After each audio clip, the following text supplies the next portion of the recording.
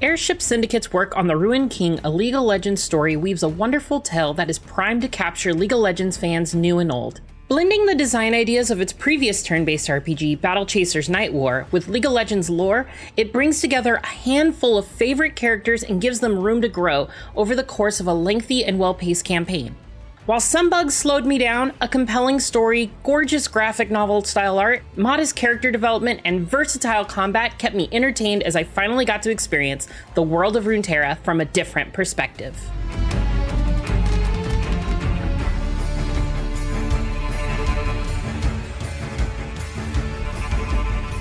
Riot has spent the last decade creating diverse, unique, and memorable characters for its MOBA, but until recently, they've been showcased mainly through video shorts. All that changed in November 2021, first with Netflix's brilliant animated series Arcane, and now The Ruined King and its vast amount of dialogue and backstory.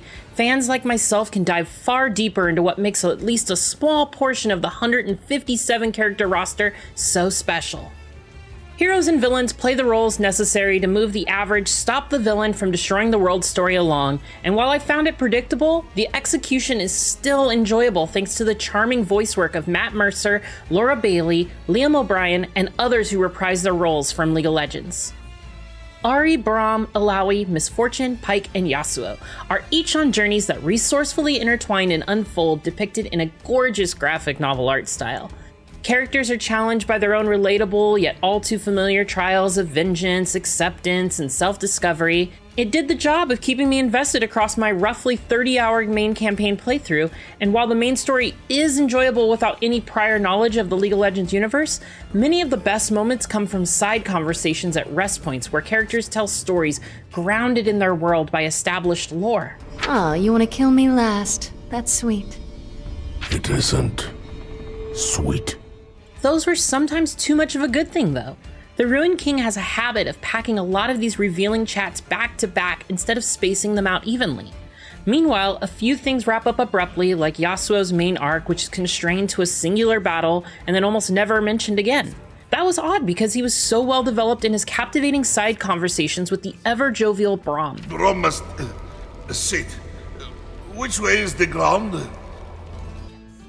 What makes Ruined King's battle system interesting and versatile is how its speed, balanced, and power attack types play out on the initiative bar timeline, and the counter siege. Casting Miss Fortune's guns blazing ability in the power lane slows her down before raising her haste and evasion, but it pushes her allies forward in their turn order. Meanwhile, speed casting Ahri's Spirit Mend will heal and cleanse two debuffs from an ally or revive them if they are already KO'd. There's a lot to consider on most turns. Mechanics like boons, hazards, and wildcards continue to evolve for the first half of the main story, though it takes its time introducing new ideas. From that point on, it's more about demonstrating your level of mastery of all the systems, such as finishing an enemy off in 10 hits or less to prevent them from self destructing and dealing massive AoE damage.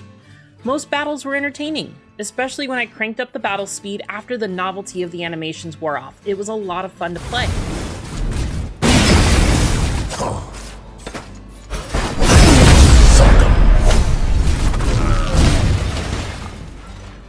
There's a finite amount of skill points available by the time you max out at level 30, but you're encouraged to experiment by overwriting upgrades on a weapon or armor for a reasonable cost of materials, and you're able to reallocate skill points and runes, which is effortless and efficient.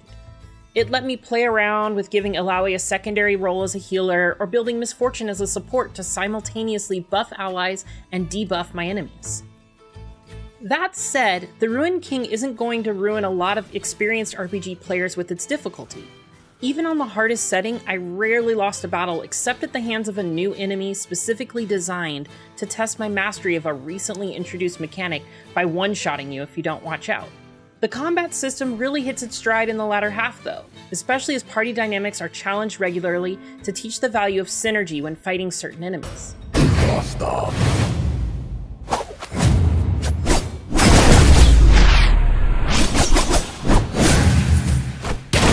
Hardly worth the ammo. I used to dream of sailing to far-off lands, seeing all there was to see. But Bilgewater has become my whole world. One disappointment is that the Ruined King doesn't take us on a more expansive tour of Runeterra. Even after spending the first half dozen hours in Bilgewater and gaining access to my ship, we're only able to visit a couple of other locations that start to feel all too similar after a while.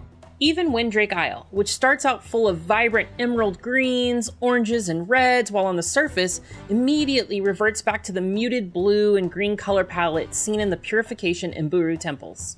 Most locations do have plenty to explore, and at least are inhabited with standard NPCs, enemies, optional quests, fishing spots, bounties to hunt, and puzzles to solve. The only catch is a poor map system that won't even let you zoom in or mark locations. I also have to report that the Ruined King suffers from some game crashing bugs that I routinely encountered on the PS5, and they sometimes happen at important story moments. I also saw glitches like character models becoming invisible and unable to interact with objects, and some save file corruption that cost me some progress.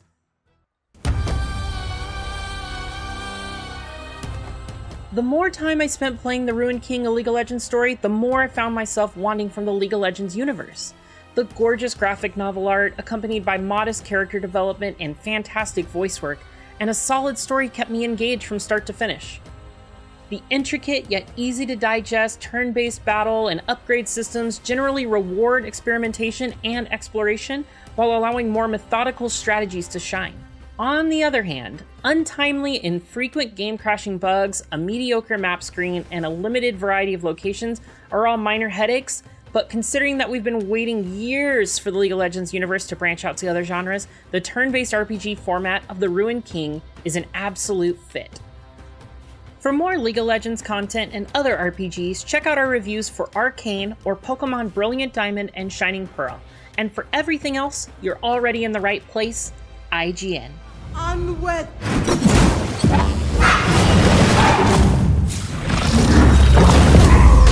Let's get back to it.